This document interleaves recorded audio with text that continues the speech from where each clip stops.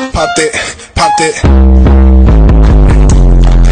We want to smoke where the Glock it. We aiming for.